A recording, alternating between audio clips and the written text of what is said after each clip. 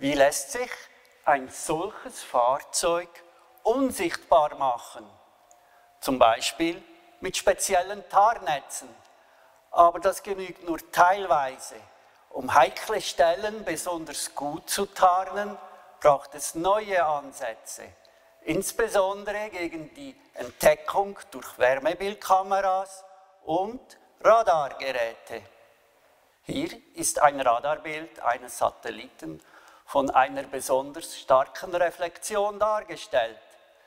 Solche starke Reflexionen müssen am Fahrzeug reduziert werden. Deshalb haben wir von Armaswiss Wissenschaft und Technologie zusammen mit dem deutschen Beschaffungsamt und weiteren Partnern in einem Pilotprojekt neue Fertigungsmethoden zum Druck von TAR-Modulen untersucht. Dabei gilt es, spezielle 3D-Strukturen zu drucken und geeignete Materialien zu verwenden, um eine gute Tarnwirkung zu erreichen.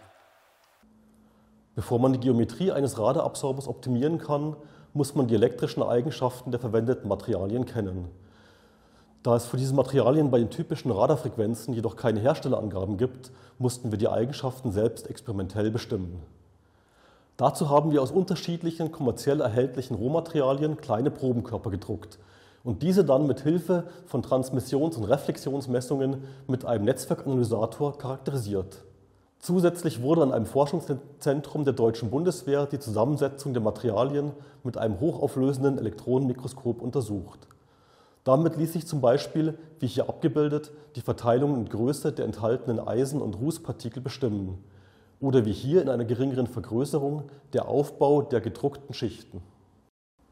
Anhand der gemessenen Materialparameter kann man anschließend mit einer Software für elektromagnetische Simulationen die Reflexionseigenschaften der gedruckten Strukturen modellieren.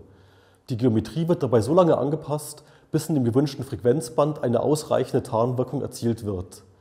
Um diese Simulationen zu überprüfen, werden zuerst kleinere Prototypen der Struktur gedruckt und im Labor vermessen. Bei Messungen der Radarrückstreuung werden ohne spezielle Vorkehrungen, das heißt nicht in einem solchen Raum, die Reflexionen vom Messobjekt, wie das hier, durch die Rückstreuungen an den Wänden überdeckt. Das heißt, das Messsignal geht im Rauschen unter.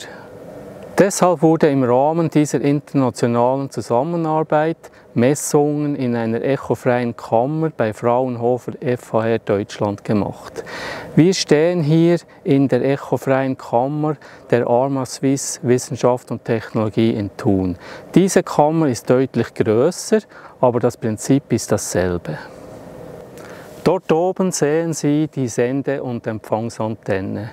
Die elektromagnetischen Wellen werden von der Sendeantenne ausgestrahlt, am Prüfring reflektiert und mit der Empfangsantenne aufgezeichnet.